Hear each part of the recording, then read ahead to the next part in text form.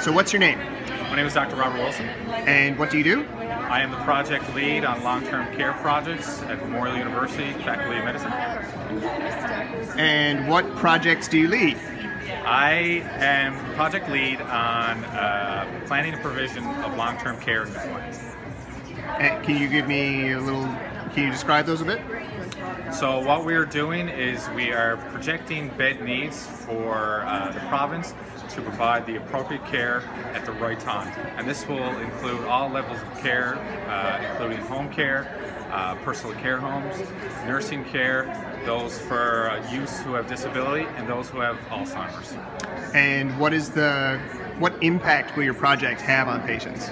Well, this will actually provide the right care for people at the appropriate time across all levels of disability.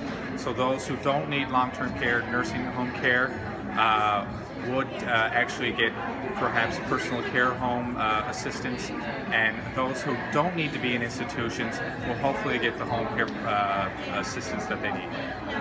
And do you think that will improve the lives of the patients involved? I think it will. I think it will improve the quality of life especially, and I think it will have a great impact on the, the healthcare system. Perfect. Thank you very much.